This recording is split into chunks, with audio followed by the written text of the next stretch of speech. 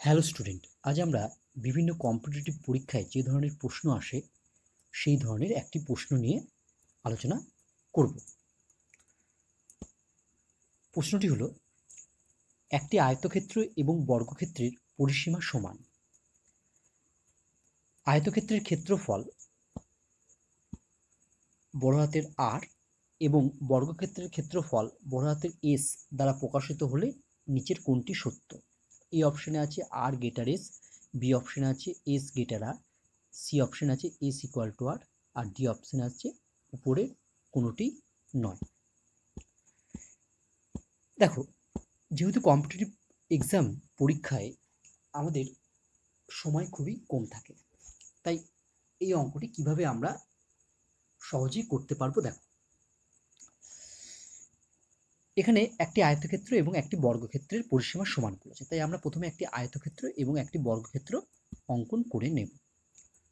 আমরা প্রথমে একটা আয়তক্ষেত্র অঙ্কন করছি। ধরো এটা আমার হচ্ছে আয়তক্ষেত্র। এবার আমরা একটা বর্গক্ষেত্র অঙ্কন করব। ধরো এটা হচ্ছে বর্গক্ষেত্র। আমাকে বলেছে আয়তক্ষেত্র এবং বর্গক্ষেত্রের পরিসীমাটা হচ্ছে সমান। আমি বর্গক্ষেত্রের একটি বাহুর দৈর্ঘ্য চার একক ধরে নিলাম। তুমি চার বাদে অন্য কিছু ধরতে পারো। আমরা জানি বর্গক্ষেত্রের প্রতিটি বাহুর দৈর্ঘ্য সমান, তাই এর প্রতিটি বাহুই হবে চার একক। তাহলে বর্গক্ষেত্রের পরিসীমা কত হবে? আমরা জানি বর্গক্ষেত্রের পরিসীমার সূত্র কি? ফোর ইন্টু একটি বাহুর দৈর্ঘ্য বা চারটে বাহুর যোগফল করতে পারি। চারটে বাহু যোগ করলে আমার হবে ষোলো বা ফোর ইন্টু একটি বাহু করলে ফোর ইন্টু ফোর ষোলো। এবার আমি কি করব? আয়তক্ষেত্রের দৈর্ঘ্য আর প্রস্থ এমনভাবে ধরব যাতে আয়তক্ষেত্রটিরও পরিসীমা ষোলো হয়। কেন? কারণ আয়তক্ষেত্র এবং বর্গক্ষেত্রের পরিসীমা সমান বলেছে।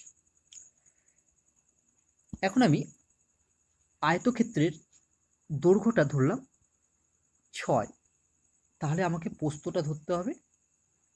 দুই, আমরা জানি কোনো আয়তক্ষেত্রের পরিসীমা টু ইন্টু দৈর্ঘ্য প্লাস পোস্ত অর্থাৎ দৈর্ঘ্য প্লাস পোস্ত যোগ করে তাকে দুই দিয়ে গুণ করলে সেটাই হবে আয়তক্ষেত্রের পরিসীমা। দেখো ছয় আর দুই যোগ করলে হয় আট, আটকে দুই দিয়ে গুণ করলে হয় ষোলো, তাহলে আয়তক্ষেত্রের পরিসীমাটাও ষোলো হবে।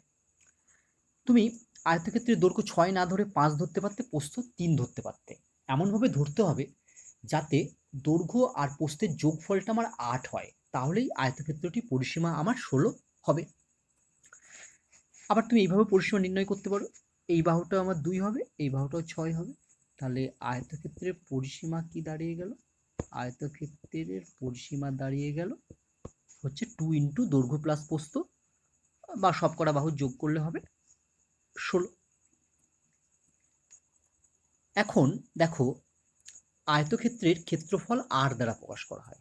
তাহলে অতএব আর ইকুয়াল টু আয়তক্ষেত্রের ক্ষেত্রফল, আয়তক্ষেত্রের ক্ষেত্রফলের সূত্র কত? দৈর্ঘ্য ইন্টু পোস্ত তাহলে আয়তক্ষেত্রটার দৈর্ঘ্য হচ্ছে ছয় পোস্ত হচ্ছে দুই, ছয় আর দুই গুণ করলে ছয় দুগুণে বারো বর্গ একক। ঠিক একইভাবে বর্গক্ষেত্রের ক্ষেত্রফল কত বলেছে? বর্গক্ষেত্রের ক্ষেত্রফল বলেছে এস দ্বারা প্রকাশ করা হয়। তাহলে এস ইকুয়াল টু কী হবে? না, বর্গক্ষেত্রের ক্ষেত্রফলের সূত্র আমরা জানি বাহু স্কোয়ার বা বাহু ইন্টু বাহু। তাহলে হচ্ছে ফোর ইন্টু ফোর মানে ষোলো।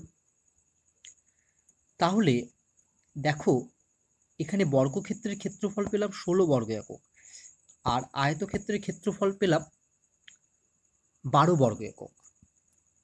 ষোলো বর্গ একক হচ্ছে বর্গক্ষেত্রের ক্ষেত্রফল, আর বারো বর্গ একক হচ্ছে আয়তক্ষেত্রের ক্ষেত্রফল।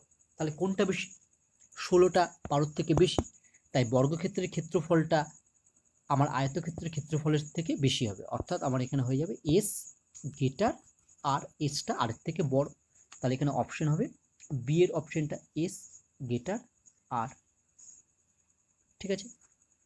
এইভাবে এই অঙ্কটি সহজেই তোমরা করতে পারবে।